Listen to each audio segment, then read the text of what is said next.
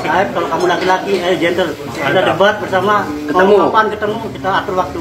Kamu jangan menyudutkan seseorang, jangan mematikan nama baik seseorang, dan jangan kamu mematikan masa depan seseorang. Kalau kamu gentle, tunjukkan. Aib, Ya. bener nggak ini? Sama sekali saya tidak. Bahkan mengenal wajah pun saya sama tidak kenal. Nah, kemudian Aib ini membenarkan foto dan seterusnya. Kemudian inilah yang paling penting ya. Adapun saya mengenali sepeda motor merek Suzuki Smash tersebut yang merupakan sepeda motor yang sering digunakan oleh saudara Peggy alias Perong ya atau Peggy. Awalnya sepeda motor tersebut berwarna pink, kemudian berubah warna dengan biru kuning kan itu. Nah, tetapi di sini eh, dia melihat eh, apa Peggy ya eh, di lokasi kejadian itu nggak benar. Nggak benar sama sekali. Nggak benar sama sekali. Tantang Aib nih di kamera nih. Aib kalau kamu laki-laki, ayo gentle. Kita debat bersama, Ketemu. kapan ketemu, kita atur waktu. Kamu jangan menyudutkan seseorang, jangan mematikan nama baik seseorang, dan jangan kamu mematikan masa depan seseorang. Kalau kamu gentle, tunjukkan. Aib kami akan laporkan ke Mabes Polri terkait keterangan palsu ini karena faktanya sudah penetapan tersangkanya sudah dinyatakan batal sehingga keterangan-keterangan yang tertuang ya itu laporan palsu ya terutama yang melaporkan ini awalnya ya. Kalau memang melaporkan adanya Peggy yang dimaksud adalah Peggy ini ya. Assalamualaikum warahmatullahi wabarakatuh. Salam Om Swastiastu Namo Buddhaya Salam kebajikan dan salam sejahtera untuk kita semua.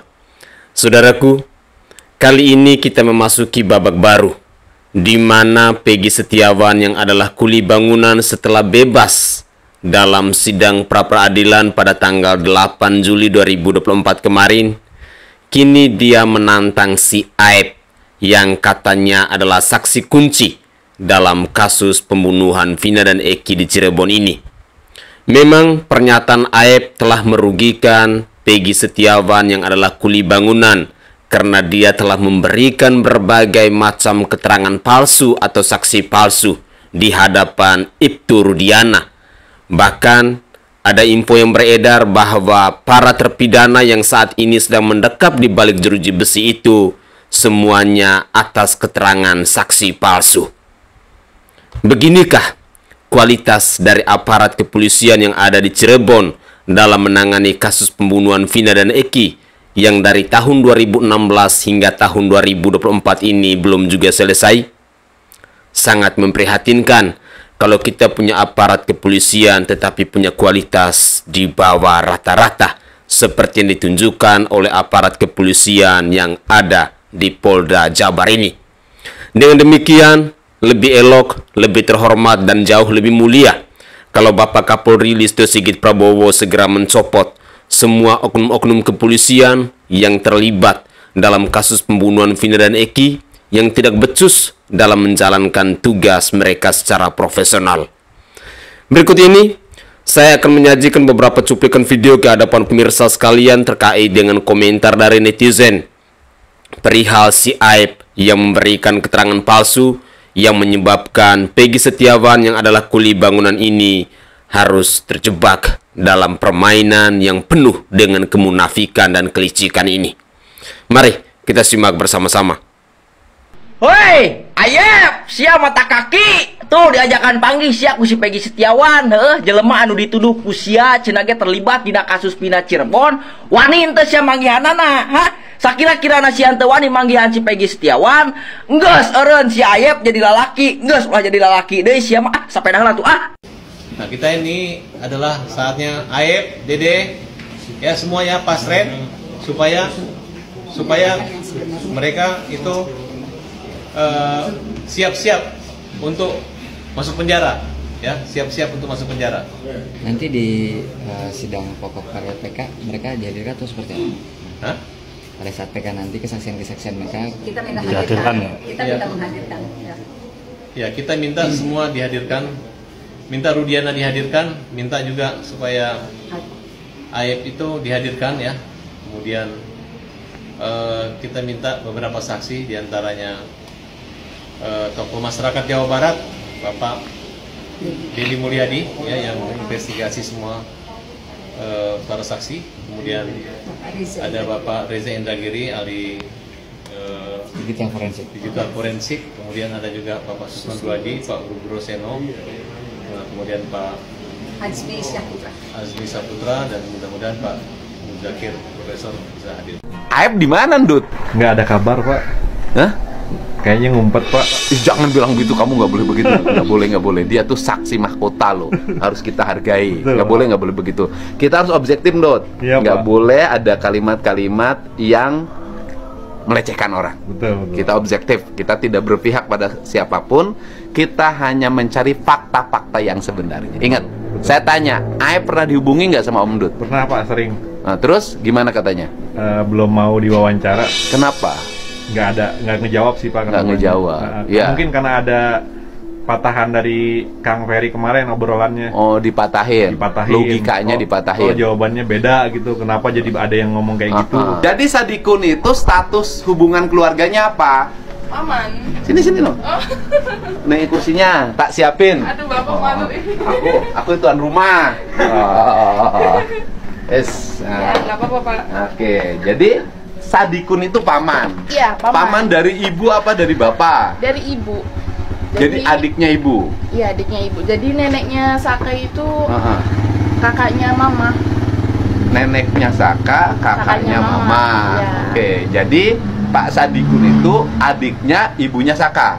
Bukan, jadi eh kayak sepupu tuh, Pak. Oh, paman pamannya paman jauh. Iya, paman dari siapa? Dari mama gitu tuh, dari Oke. mamahnya Mel. Bentar, bentar dulu. Saka ibunya namanya siapa? Jasi. Jasi. Mm-mm. Eh, eh, kemudian Jasi itu adik kakak sama Eh, kalau Jasi kan ponakannya mama. Oh, oh. Heeh, nah, terus mama kan punya anak laki-laki ya dipanggilnya ke sini tuh paman gitu. Oh iya, pa- pamannya paman jauh ya? Iya, paman jauh. Paman jauh, ya kan? Tapi deket hubungannya. Deket ini tuh saudara Oh, semua. saudara ke sini. semua. Iya. Jadi Pak Sadikun itu ini rumahnya. Iya. Temennya Sadikun ada berapa orang? Ini sama ada ini juga saudara juga sebelah sana ya. Oh, oh. Namanya Apri. Ada tujuh orang. Ada. Loh, banyak banget itu tuh. Cuma jadi yang kayak ikut ke bengkel sebagian. Nggak artinya ngumpul di sininya. Iya banyak. Heeh, sampai jam berapa ngumpul di sini? Jam 10 malam lewat.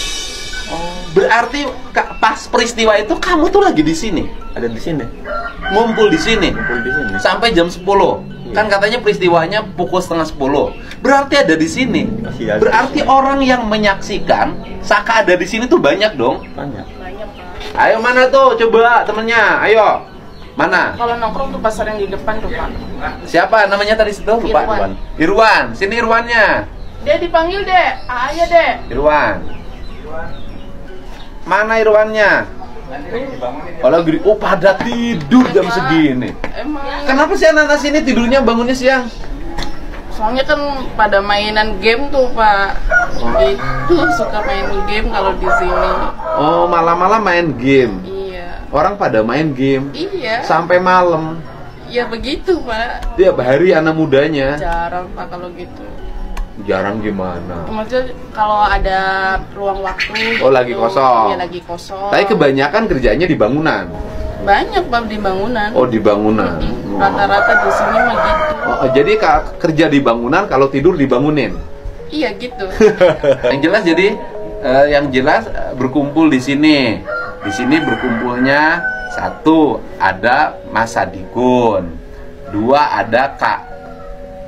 Jaka, yang ketiga ada yang lagi tidur tuh. Siapa namanya? Irwan. Irwan. Yang keempat Ada Apri. Afri siapa? Saudara juga. Di mana rumahnya? Bermain cuma di sana, cuma sekarang orangnya jarang keluar cuman nggak tahu kerja. Oh kerja. Yang jelas ada namanya Afri. Iya. Terus ada Ada teman-teman Sadikun juga. banyak ya bahwa orang yang sebanyak itu berkumpul pada tanggal 27 Agustus 2016 dari mulai maghrib sampai jam 10 malam di sini Ada di sini. pas malam minggu.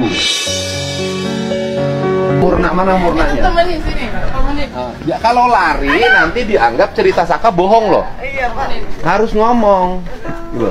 Nanti kalau ibu lari sembunyi nggak mau kelihatan wajahnya, Itu ini. Loh, kenapa takut ngomong? Mama saya. Harusnya dari dulu ngomongnya, bukan sekarang. Tapi nggak apa-apa sekarang juga bisa. Nih, Tanyain. Mama Murnaya. Sok pakai bahasa Inggris lagi, berusaha.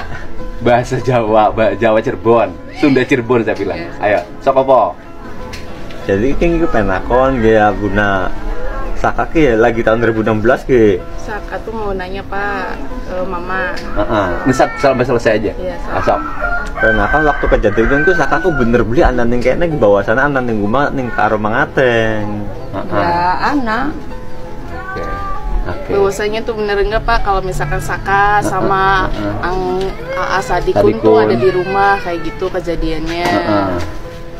Terus kata ibunya apa? Kata Mama apa? Ada di rumah enggak Ang Sadikun? Ada. Ada. Yang pertama, saya patut memberikan apresiasi yang setinggi-tingginya kepada Kang Deddy Mulyadi yang terus berjuang untuk mencari tahu berbagai macam informasi terkait dengan kasus pembunuhan Vina dan Eki yang masih penuh dengan misteri. Karena menurut pengakuan Bung Hotman Paris Hutapea katanya ada kotak Pandora besar yang harus dibongkar. Itu menurut pengakuan dari Bung Hotman Paris Hutapea. Dari penelusuran-penelusuran yang kita simak, khususnya penelusuran dilakukan oleh Kang Deddy Mulyadi, ada berbagai macam cerita, ada berbagai macam kisah yang kita dengarkan bersama-sama dari hasil wawancara Kang Deddy Mulyadi bersama keluarga korban, bersama orang tua, bersama para saksi, bersama sahabat, kenalan, dan- lain sebagainya. Guna mengusut kasus pembunuhan Vina ini agar bisa dibongkar setransparan mungkin.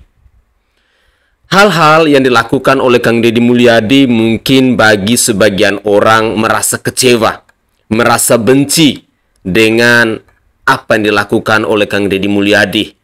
Karena dia hanyalah seorang public figure, hanyalah seorang tokoh politik yang mungkin sangat familiar di kota Cirebon ini. Apalagi beliau ini juga pernah menjabat sebagai kepala daerah di Purwakarta. Tetapi saya secara pribadi mau katakan bahwa perjuangan yang dilakukan oleh Kang Deddy Mulyadi ini sungguh luar biasa. Beliau sedang berjuang untuk mencari yang namanya kebenaran, untuk menegakkan yang namanya keadilan dan keadilan itu bisa dirasakan oleh seluruh lapisan masyarakat di negara kesatuan Republik Indonesia ini. Kembali ke topik utama, cerita tentang Aib yang memberikan keterangan palsu atau saksi palsu sehingga menyebabkan banyak korban yang saat ini sedang mendekap di balik jeruji besi yang salah satunya adalah Peggy Setiawan yang baru saja dibebaskan pada tanggal 8 Juli 2024 kemarin. Di sisi lain, kita masih melihat bahwa masih ada tujuh terpidana lainnya yang saat ini masih mendekap di balik jeruji besi. Entah mereka adalah pelaku utamanya atau tidak, kita pun tidak tahu. Tetapi cerita-cerita yang berseliweran di media sosial dari hasil penelusuran Kang Deddy Mulyadi, Uya Kuya, dan juga masih ada banyak orang lainnya yang melakukan penelusuran terkait dengan kasus pembunuhan Vina dan Eki ini.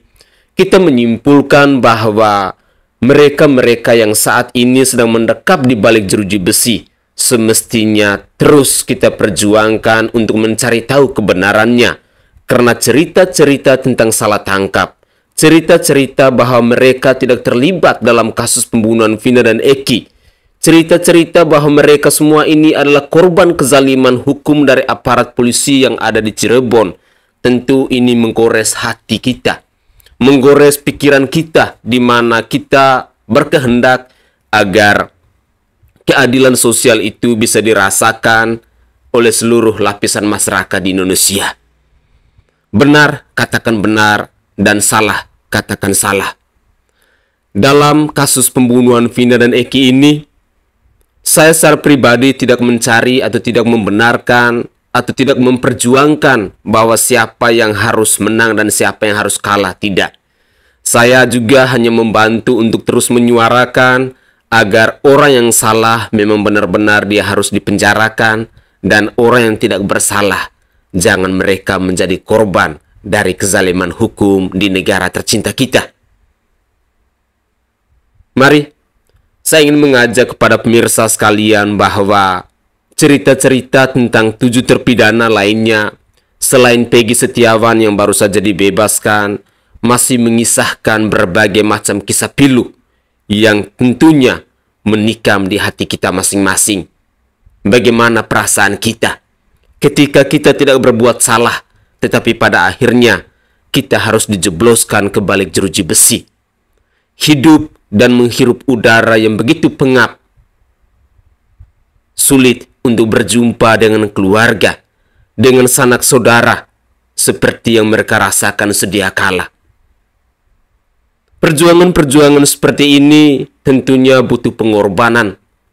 Tentunya kita harus berpikir ekstra keras untuk membela mereka-mereka yang tidak bersalah. Karena percaya atau tidak percaya, orang-orang yang membela kebenaran, orang-orang yang sedang memperjuangkan kebaikan, orang-orang yang sedang memperjuangkan keadilan, pasti ada yang namanya intimidasi pasti ada yang namanya kriminalisasi dari orang-orang yang tidak suka, dari orang-orang yang punya kepentingan dan lain sebagainya. Tetapi saya hanya berharap bahwa perjuangan-perjuangan kita pada akhirnya bisa membuahkan hasil memuaskan seperti yang dirasakan oleh Peggy Setiawan yang adalah kuli bangunan yang selama beberapa bulan dia harus mendekap di balik jeruji besi. Tentu ini adalah sebuah kisah nyata dan mungkin akan dijadikan sebagai catatan sejarah tentang kualitas dari aparat penegak hukum yang ada di bangsa kita yang tidak profesional dalam menjalankan tugas mereka. Mari, selanjutnya saya masih mengajak pemirsa sekalian dan kali ini uh, saya beralih sedikit topik terkait dengan tes DNA dari Peggy Setiawan Cianjur yang katanya adalah anak dari Cecep Dahlan itu. Mari kita simak bersama-sama ada satu penjelasan, satu narasi yang disampaikan oleh netizen ketika mendengar bahwa Peggy Setiawan di Cianjur ini dia sedang melakukan tes DNA bersama Kang Deddy Mulyadi. Mari kita simak bersama-sama. Bajingan Peggy Perong lagi tes DNA guys. Tapi aku yakin tes DNA-nya pasti palsu. Nggak yang sesungguhnya. Kan intelnya udah melotot 24 jam ada di mana-mana guys. Nggak tidur itu intel yang ngintip yang buntutin Kang Deddy yang udah lama mau melakukan tes DNA ini pasti pasti udah nyogok sama dokter dokter dokter yang melakukan tes DNA inilah keluarganya si Perong inilah gitu ya kalaupun ini si Peggy tes DNA-nya benar, nanti kan dicocokin ya sama Bupati Ono. Pasti eh, palsu lah, aku yakin, aku yakin DNA-nya pasti palsu, bukan yang sesungguhnya. Aku tahu karena karena karena ini bukan orang sembarangan yang mau dites DNA ini, bukan kuli bangunan gitu loh ya kalau yang dites itu tes DNA-nya kuli bangunan itu ya bisa cocok lah mamanya sama bapaknya itu pasti cocok tes DNA-nya tapi ini yang dites itu anak anak mantan bupati dan cucunya juga jenderal-jenderal. Pokoknya dia itu keluarga-keluarga orang-orang besar yang punya jabatan yang punya pengaruh gitu. Jadi nggak mungkin gitu ya. Kalau tes DNA-nya dia itu bakal bener gitu tuh nggak mungkin kayaknya. Sih feeling aku sih gitu sih. Nggak tahu kalau feeling kalian ya. Apakah bisa ini si bajingan perong ini jadi tersangka? Apakah bisa? Itu kayaknya sangat kecil. Kalau polisi bisa menciduk dia dan dia bisa difonis menjadi tersangka dan dipenjara dihukum mati itu tidak akan mungkin sampai kiamat guys. Aku yakin itu tidak akan mungkin dia dihukum mati atau dipenjara seumur hidup. Itu tidak akan mungkin. Tidak akan. Kayak nggak tahu aja hukum di Indonesia ini. Loh hakim-hakimnya polisinya pada masuk angin. Hakim yang paling jujur di Indonesia ini dalam sejarah. Itu hanya segelintir orang. Ini dalam tahun 2004 ini yang kelihatan hakim paling jujur ini. Beberapa tahun ini juga cuma kelihatan Hakim Eman Sulaiman inilah hakim yang nggak pernah masuk angin. Coba hakim-hakim yang lain semua masuk angin gitu ya. Kemasukan amplop coklat yang tebel tebel tebel. Bahkan satu koper amplop coklatnya itu berkoper-koper. Makanya keadilan di Indonesia itu tidak pernah ditegakkan untuk orang miskin. Baru kali ini baru kali ini ini ini ini. Hakim Eman Sulaiman ini aku acungin jempol 100 jempol pak. Bahkan 1000 jempol akan aku acungi jempol Bapak Eman Sulaiman. Ini Hakim kebanggaanku pokoknya kebanggaan orang Indonesia orang-orang yang baik. Tapi kalau orang yang jahat yang nggak akan bangga dengan Hakim Eman Sulaiman gitu. Selamat Pak Hakim. Terima kasih. Beribu-ribu terima kasih untuk Bapak Hakim Eman Sulaiman yang sudah membebaskan Peggy Setiawan itu ya Allah. Assalamualaikum warahmatullahi wabarakatuh. Alhamdulillah Peggy Setiawan sudah bebas. Dan apa kabar untuk Wirang Birawa? Orang yang sangat yakin pada saat itu bahwa Peggy Setiawan yang bebas saat ini itu adalah pelaku yang sebenarnya. Saya di sini akan membacakan apa yang pernah kamu posting di akun Instagram kamu. Apakah kamu bisa mempertanggungjawabkan apa yang pernah kamu sampaikan ini? Wirang Birawa Peggy Perong itu jago bermanipulasi 8 tahun dia bisa lolos, tanda tanya, percaya mah saya. Lihat aja, saat rilis dia bisa memainkan psikologi dan membuat trik-triknya untuk membuat orang yakin padanya. Yang kamu maksud pada saat Kapolda merilis di situ Peggy Setiawan menggeleng-gelengkan kepalanya dan kamu menganggap itu adalah salah satu trik seorang pelaku untuk memanipulasi masyarakat. Itu harus kamu pertanggungjawabkan Wirang Birawa karena pada saat itu belum ada putusan, belum sidang, tetapi kamu sudah yakin dan mengiring opini publik bahwa Peggy Setiawan yang ditangkap saat itu adalah pelaku yang sebenarnya. Orang-orang yang termakan oleh manipulasi Peggy ada ada tiga ciri. Satu sotoy, dua ingin menjatuhkan institusi Polri, tiga ingin konflik ini terpelihara. Yang membuat konflik itu dirimu sendiri Wirang Birawa. Hanya karena berdasarkan firasatmu, kamu sudah lancang menyimpulkan bahwa Peggy Setiawan itu adalah pelaku yang sebenarnya. Kalau kita berbicara tentang firasat, jangankan manusia, hewan pun punya firasat. Itu yang harus kamu pahami, Wirang Birawa. BTW, apakah akun-akun soto itu tahu kalau Peggy datang ke persidangan? Tanda tanya. Ini harus kamu jelaskan juga, Wirang Birawa terkait Peggy pernah datang ke persidangan. Hari apa, tanggal berapa, bulan berapa, tahun berapa. Udah stop aja, udah jangan sotoy, kalian gak diajak. Kamu jangan ke mana-mana. Pertanggungjawabkan apa yang pernah kamu sampaikan di akun Instagram kamu Wirang Birawa ya. Karena sosial media ini bukan cuma untuk kamu saja. Assalamualaikum warahmatullahi. Di sini saya hanya menanggapi terkait apa yang pernah disampaikan oleh Wirang Birawa di akun Instagramnya. Bapak Kapolda khusus. Siap, siap Pak. Silakan. Jadi nanti saya akan cari tahu ya uh, uh, baris, uh, reskrimnya ya penyidik reskrimnya itu harus diganti dari Kapolda Jawa Barat itu saya akan cari tahu uh, dari penyidikan awal ya Pak Agar ya. kenapa? Agar Kapolda Jawa Barat itu berpihak ke rakyat seluruh seluruhnya, bukan individu saja. Ya, hmm. bukan hanya Peggy Setiawan ya sebagai korban. Jadi ini uh, kita ingin membuka terang benderang masalah eh, kasus Vina ini ya seperti itu nanti akan saya dorong ya kalau menurut saya gini saya inginnya satu jenderal berperan penting membantu dan mendampingi yang namanya Kapolda Jawa Barat itu ya salah Jenderal satunya aktif ya.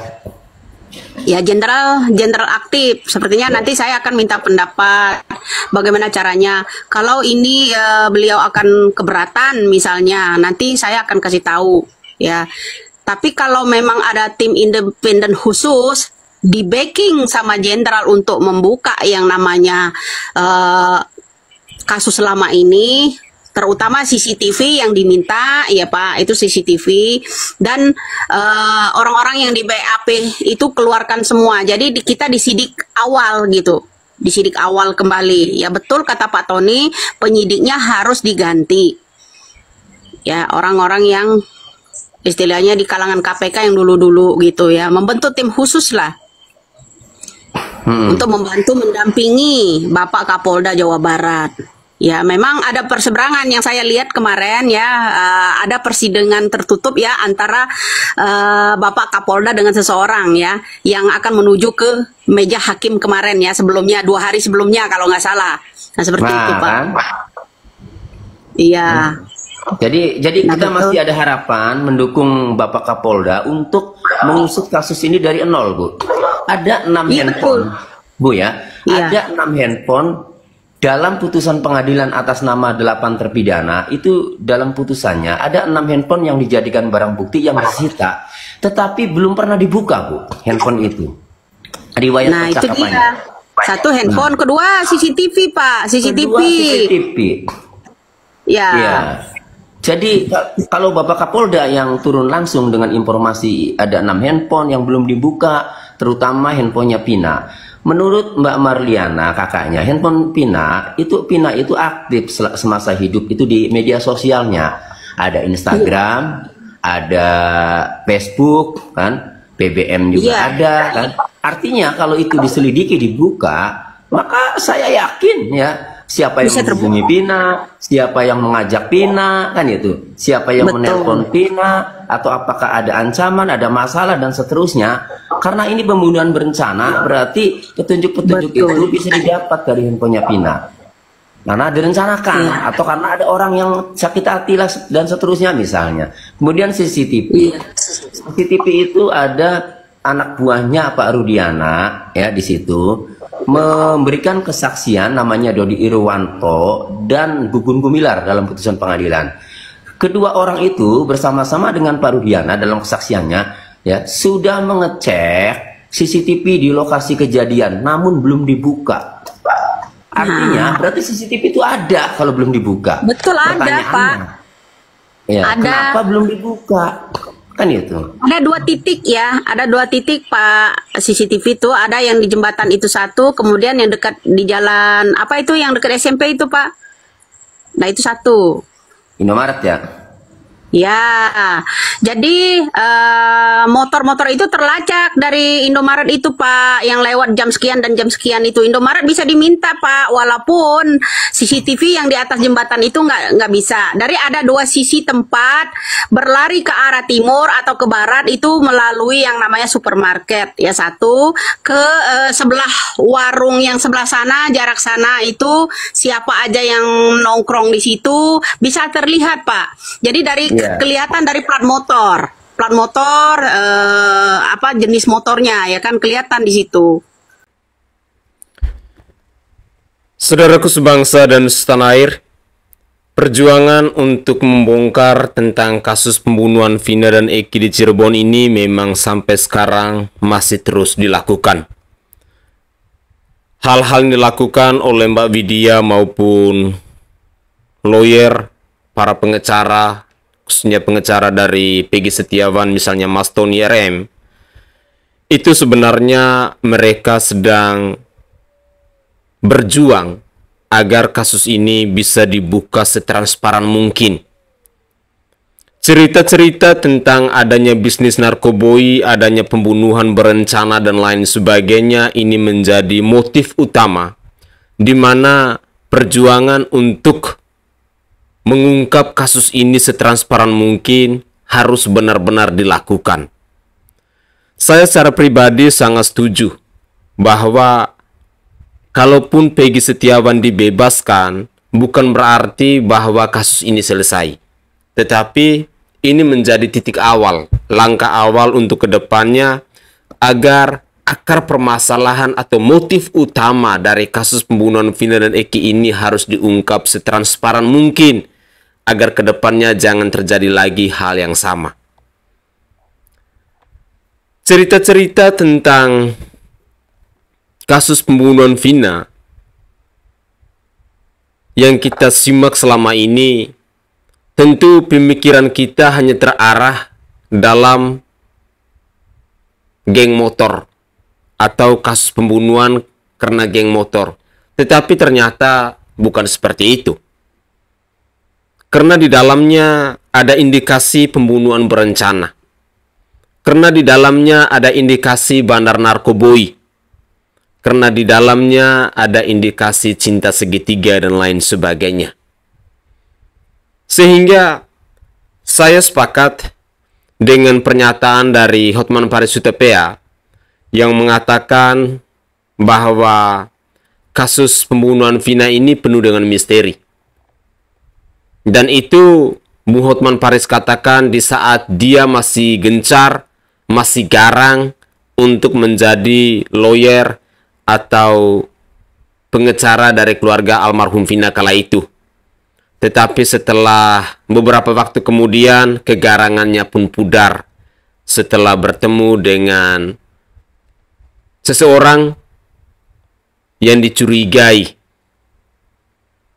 bahwa orang itu adalah mantan dari wakil bupati Cirebon dan lain sebagainya. Tetapi apa pun ceritanya, minimal kita sudah mendapatkan berbagai macam informasi terkait dengan kasus pembunuhan Vina dan usulan-usulan disampaikan oleh Bang Tony maupun Mbak Widya dalam cuplikan video ini saya sangat setuju bahwa Kapolda kalau mau bersih, begitupun Bapak Kapolri kalau mau agar citra atau marwah dari Institut Kepolisian Republik Indonesia ini bisa pulih kembali, maka satu-satunya cara bahwa kasus pembunuhan Vina dan Eki ini harus diungkap setransparan mungkin. Harus diungkap sebenar-benarnya dan pelaku utamanya harus diketahui. Walaupun tadi kita mendengar pernyataan dari Mbak Widya bahwa ada pihak istana yang terlibat di dalamnya, entah apa pun itu, bagi saya secara pribadi sih don't care ya. Itu urusan mereka, tetapi yang paling penting untuk kita rakyat Indonesia, khususnya kita yang miskin papa, kita yang tidak punya apa-apa, kita harus berjuang semaksimal mungkin untuk menegakkan keadilan di negara kesatuan Republik Indonesia ini Jangan sampai bahwa keadilan sosial itu hanya bisa dirasakan oleh para penguasa, oleh mereka-mereka yang punya jabatan, oleh mereka-mereka yang punya miliaran rupiah. Lantas kita sebagai rakyat jelata, kita yang miskin papa, terus dan terus-terusan menjadi korbannya. Itu yang harus kita lawan. Semoga saja cuplikan-cuplikan video dan informasi-informasi yang sudah saya persembahkan ke hadapan pemirsa dalam konten saya kali ini bisa berguna dan kita berharap agar Peggy Setiawan yang adalah kuli bangunan ini bisa dipertemukan dengan si Aib yang katanya adalah saksi kunci untuk membongkar semua informasi kebenaran yang disampaikan oleh Aib dalam keterangan palsunya. Terlebih khususnya pernyataan Aib ketika dia bertemu dengan Ibtu Rudiana. Karena informasi-informasi disampaikan oleh AIP ini pada akhirnya tujuh terpidana lainnya bisa jadi mereka juga adalah korban dari kezaliman aparat penegak hukum yang ada di kota Cirebon dalam menangani kasus pembunuhan Vina dan Eki ini. Begitulah kira-kira. Saya Sainai dari Provinsi Nusa Tenggara Timur, saatnya kita yang rakyat jelata harus berani untuk bersuara. Salam hormat, salam NKRI, dan salam Pancasila untuk kita semua.